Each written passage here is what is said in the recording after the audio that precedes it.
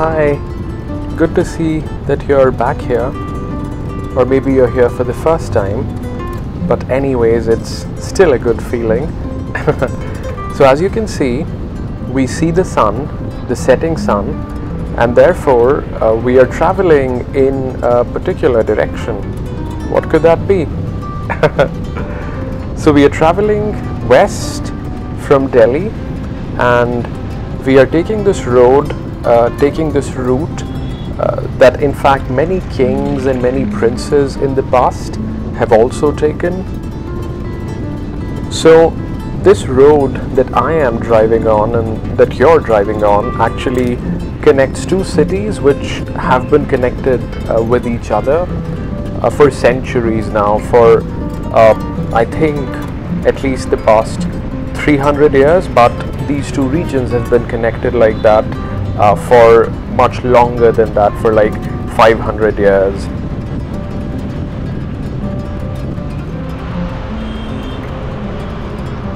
Of course, if uh, you've not already guessed, I'll tell you that the city that we are traveling to and driving to is Jaipur, which is the capital city of Rajasthan.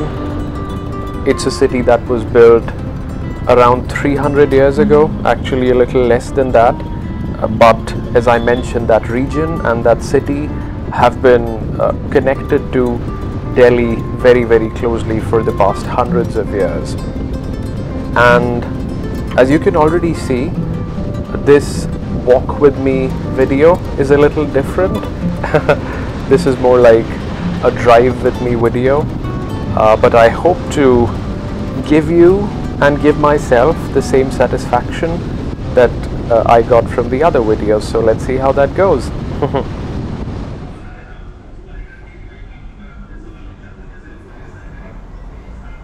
I've taken a break for some caffeine. Do you want coffee or tea?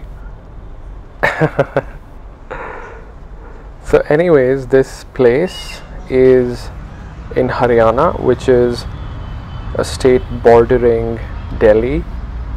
And in order to get to Jaipur, we must cross Haryana and then we'll get to Jaipur.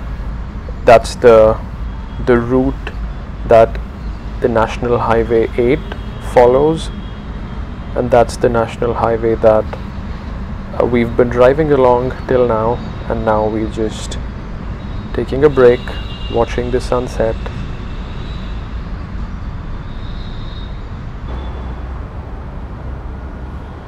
And now you see it's even clearer the setting sun.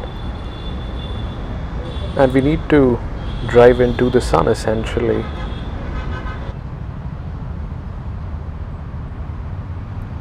And when I say drive into the sun of course I mean drive west from New Delhi. So we'll be driving into the setting sun which sets in the west. I know you you know all of that so I'm probably just babbling right now. As we walk around we do a little bit of walk with me as I mentioned there'll be less of walk with me and more of drive with me probably but we'll see. And I use that word babbling not loosely earlier in this sentence because there you go. The name of the place is jungle babbler as well. So this is something which uh, I've got to know the Haryana government does. A lot of its lodges and restaurants and rest houses wow. They're they're named after birds so yeah. Jungle babbler is a bird as well. And yeah just just enjoy that setting sun and I'm sure we'll get to see a lot more of the setting sun as we continue continue to drive west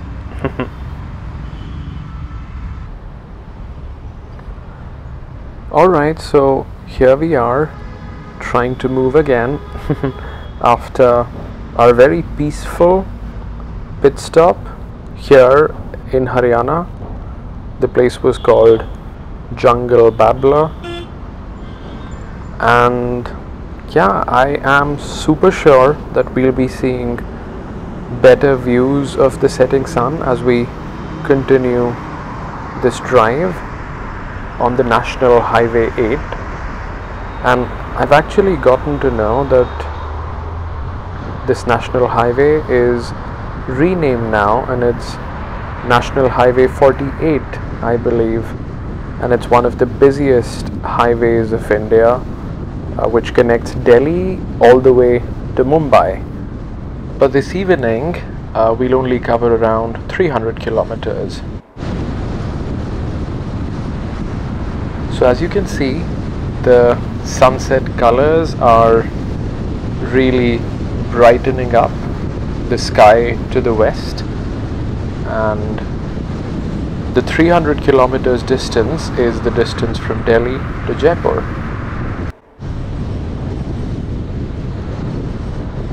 So usually if uh, there's not much traffic, I think that distance can be covered in like six hours, less than six hours. Uh, that's going to be my target as well. And I think just before dark or maybe just when it gets dark, we should be in Jaipur. But we'll we'll see if I make that happen or not but in any case as you can see uh, we've got these wonderful sunset skies in front of us as we drive from Delhi to Jaipur and as I mentioned the reason why Delhi to Jaipur is a very historical connection is because uh, the Rajputs of Rajasthan uh, were always very closely connected to the Mughals who were ruling from Delhi. Uh, in fact, that was one of the ways how the Rajputs in Rajasthan and in Jaipur were able to uh, become very rich and successful and they were able to protect their lands because they had this very close association with the Mughals starting as early as I think the 1400s or something like that.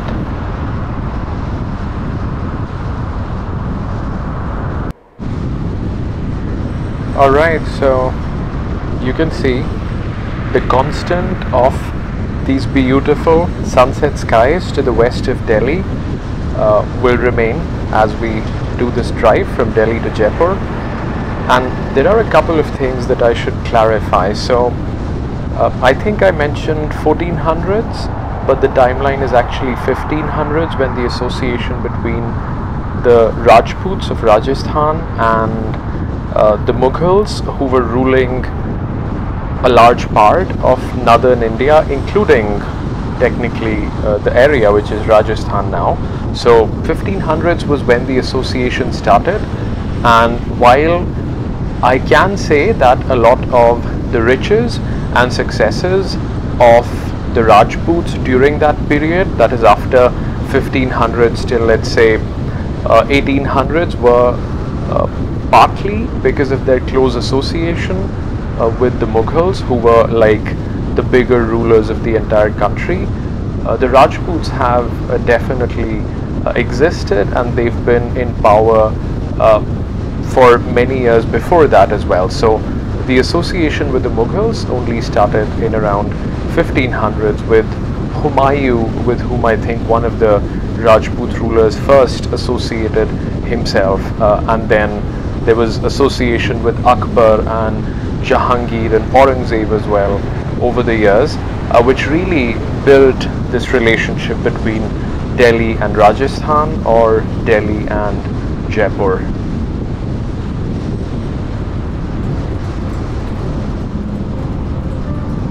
So I guess whatever I may say, I can absolutely not match the beauty of this view of the setting sun and I think these are the kind of views that are rare we don't really get to notice them often uh, because not a lot of people time their journeys uh, according to the sunset or according to the sunrise Uh, so yeah, I, I consider myself super fortunate to be getting this beautiful view and I hope you guys are enjoying this as well.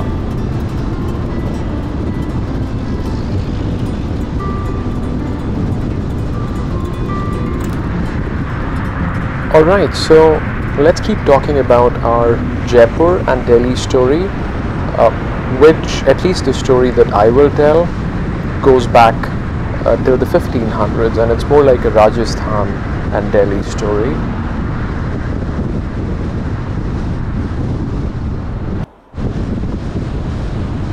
So, according to the story, and it's not story, this is like history, uh, in the 1500s, when Akbar was ruling from Delhi and was ruling almost the entire of North India, uh, one of the Rajput rulers who was called Raja Bihar Mal, he actually uh, married his daughter to Akbar in order to get more connections in the Mughal court.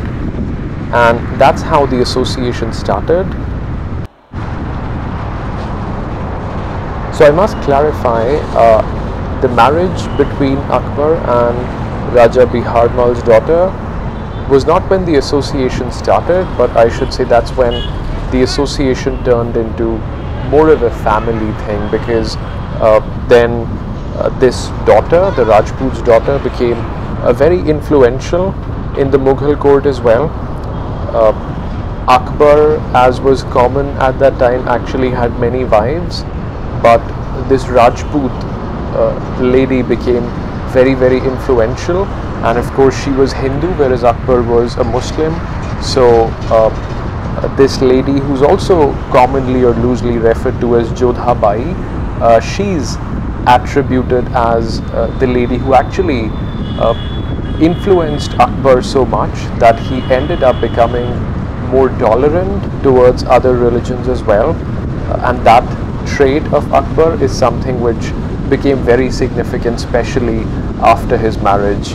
Uh, but on the other side, which is the Rajput side, uh, the association became more formal and familial after this marriage, and then it just continued to grow over the next few generations as well, uh, where more marriages happened between the Rajputs and the Mughals, and uh, the Mughals also uh, uh, sort of took help, or I should say, incorporated many of the Rajput kings within their army uh, to fight for them uh, during different battles that happened.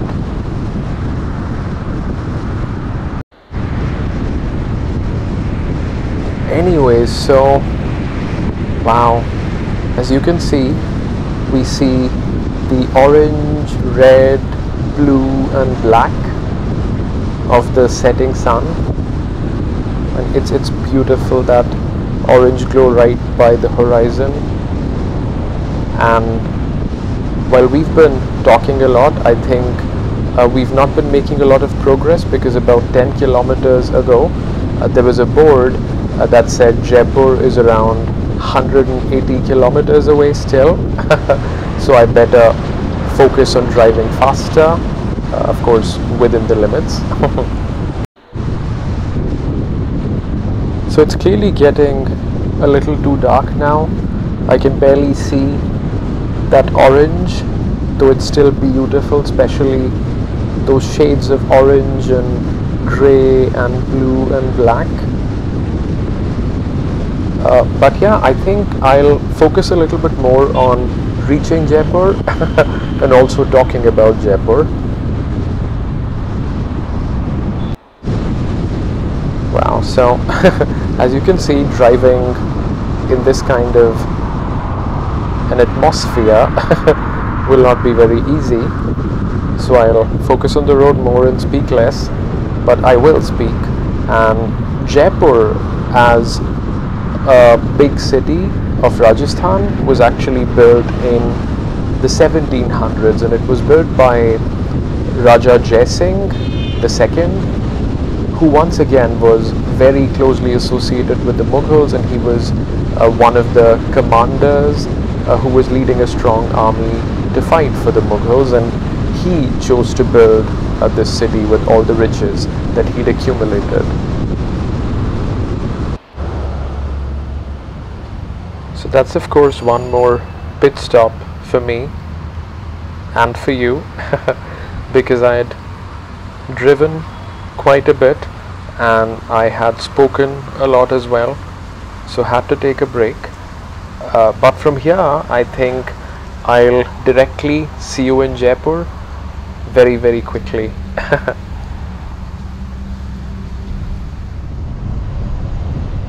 So as I promised you I focused on the road focused on driving fast and driving safely.